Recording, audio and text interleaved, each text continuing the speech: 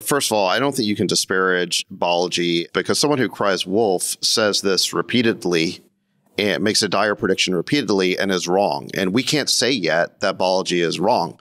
Do I think that we're going to have a million dollar Bitcoin in 90 days? I personally find that very unlikely, but you can't say yet. Uh, he stuck his neck out making a prediction that will be easily falsified if he's wrong. Second, the last time that Balaji made a dire prediction yeah. was COVID.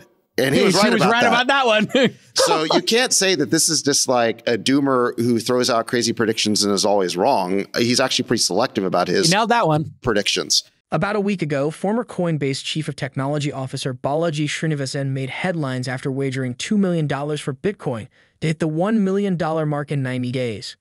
On March 17, the venture capitalist and angel investor predicted that the United States was heading for a period of hyperinflation, which would drastically depreciate the dollar and cause massive price gains for Bitcoin. According to Balaji, hyperinflation is happening now, primarily driven by the recent bailouts of the banking industry.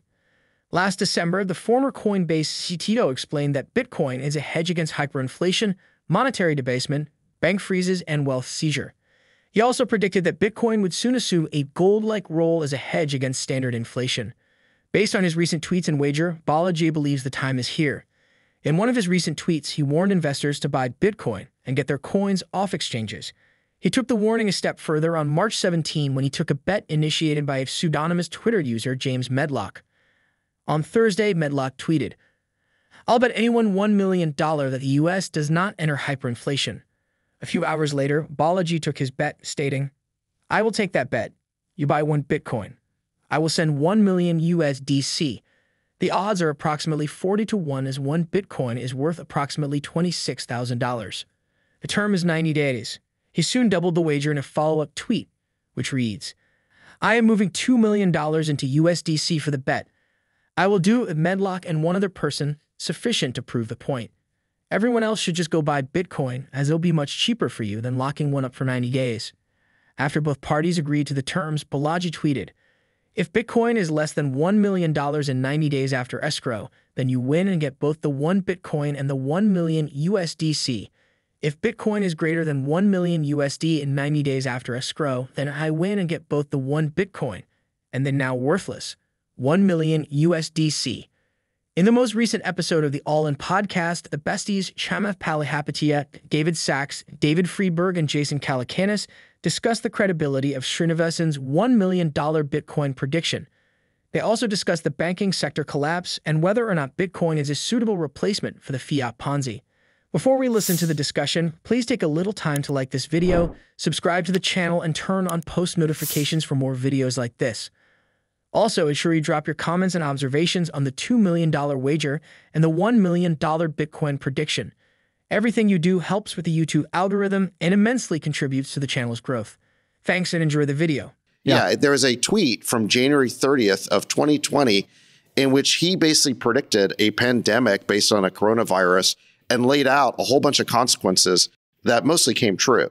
Hmm which is why we're talking about this. This is not just some like random person. Like he actually has yes. a pedigree and a track record. W- what do I think about it? I, um, I, I posted my own theory today, which I would call sort of Balaji light, um, which is um, okay. Look, if you if you think about this spike in interest rates that we've had, and that Chamath thinks will actually continue quite a bit longer, there are three main effects that it indisputably has. Number one, undercuts the value of long dated bonds.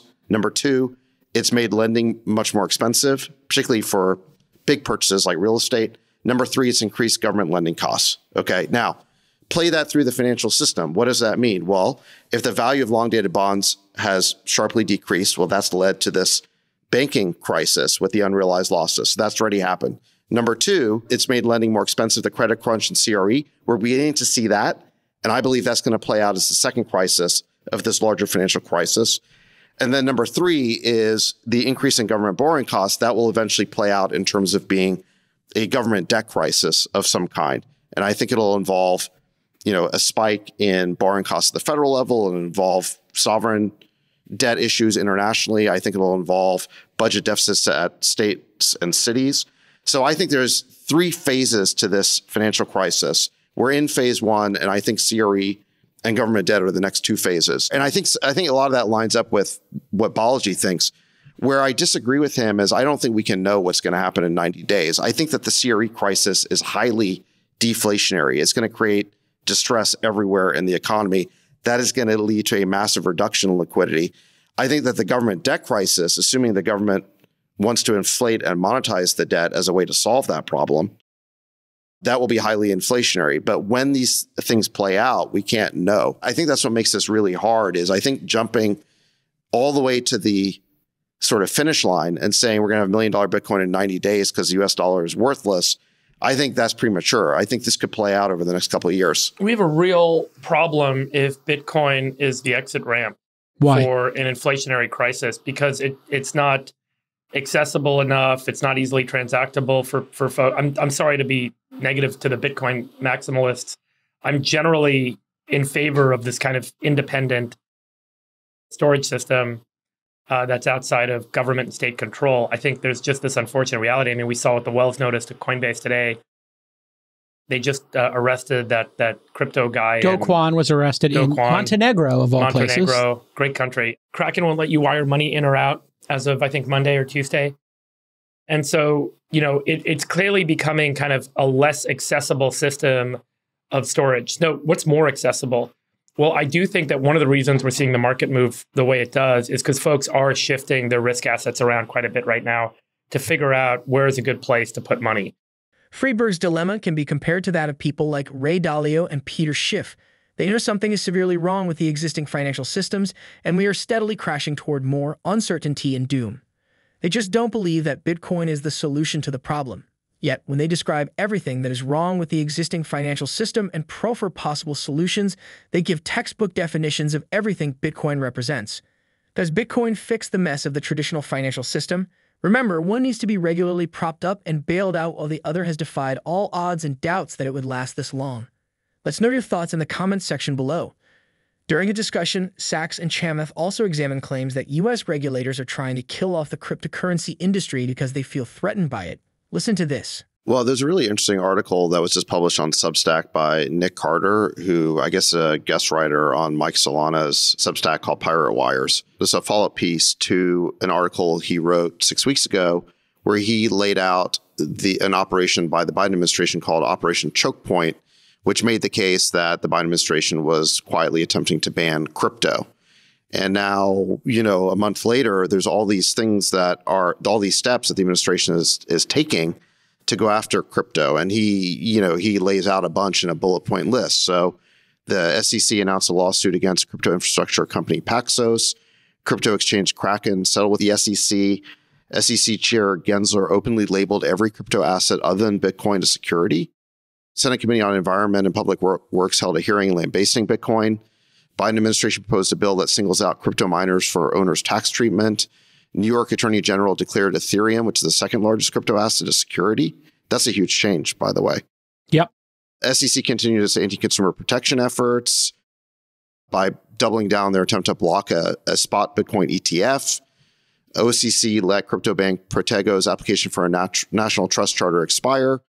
And then the SEC just sent Coinbase a Wells notice. So I think it's hard to, to argue that there isn't a concerted effort now to crack down on crypto by a wide variety of government agencies and authorities, starting with Gensler at the SEC, who seems incredibly hostile to crypto.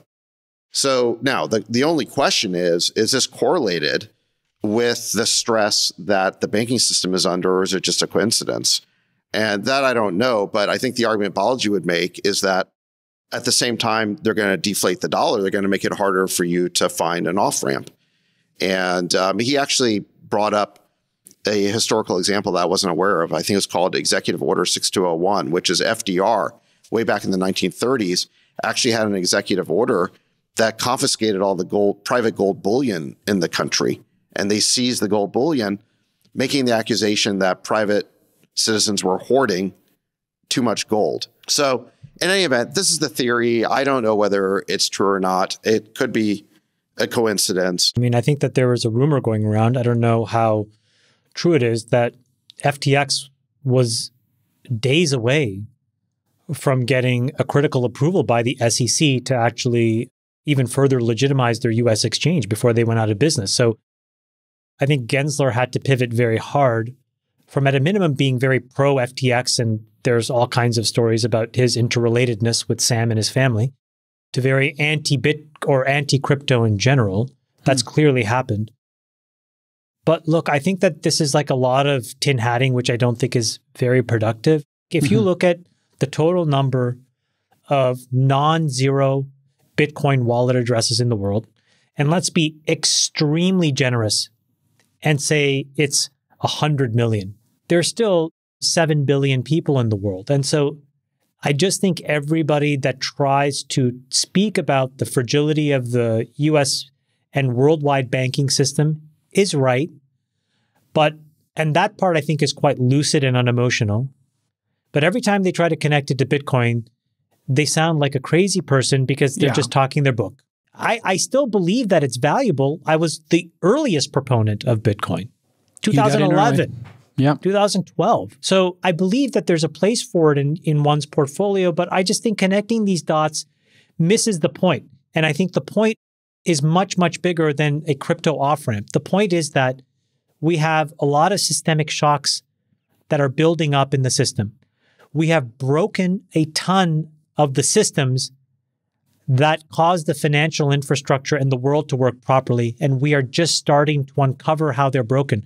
What are your thoughts on the $1 million Bitcoin prediction and the bestie's interpretation of the ongoing crisis and the role of the cryptocurrency industry?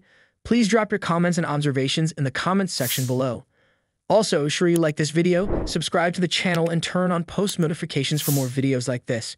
You can also check out our other videos to stay sufficiently updated about general market trends. Thanks for watching.